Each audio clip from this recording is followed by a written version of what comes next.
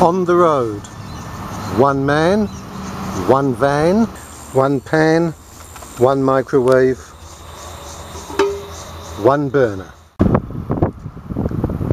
If you're pulled up by the side of a road because you're feeling peckish and you want to cook yourself something quick like say spam and potatoes and maybe baked beans the chances are you're going to be on a tilt because of the camber of the road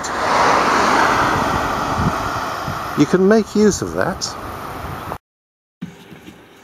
you can use the natural tilt of the vehicle to boil because the water pools in one half. So start the meal with the potatoes because they take the longest. They'll need to be there until they pass the fork test. In other words, when they come off a fork easily. You really need to cover them for that. Use a non-stick fry pan to add the spam, ham or whatever other meat you want.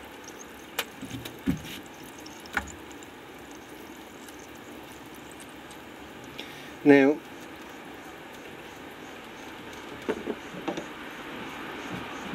to prevent it, the meat or anything else going into the water, you can either, you can pour some water out. You can use something like a twig.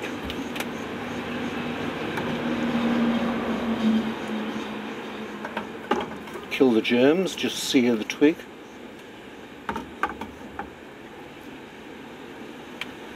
and keep the meat in that way.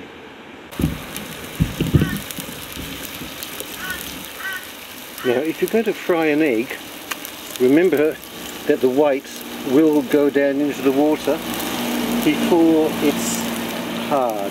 So you'll need to use something like that. I'm not frying an egg today, I'm going to use baked beans. But sometimes, when I have eggs, I love them with this meal. The angle of the pan can make it difficult to pick up things, so you may need to use a spatula plus tongs. You see how nicely round that is? This is spam, thickly cut.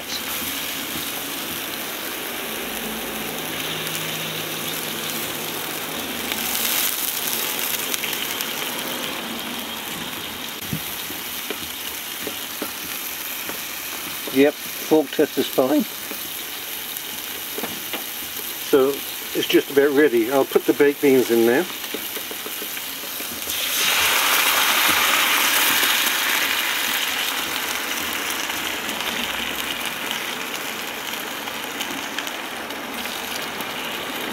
Now you have to try and keep that away from the water. It doesn't matter if it goes in the water, but I just prefer mine to cook in their own baked bean juices rather than in water.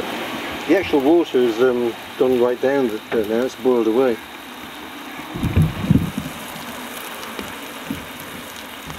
Boiling and frying simultaneously in the one pan. It's now ready to eat. Just don't eat the twigs because they're still tough. Of course if you don't have a nice road to tilt your van on, you can park on the flat and just tilt the pan or tilt the burner.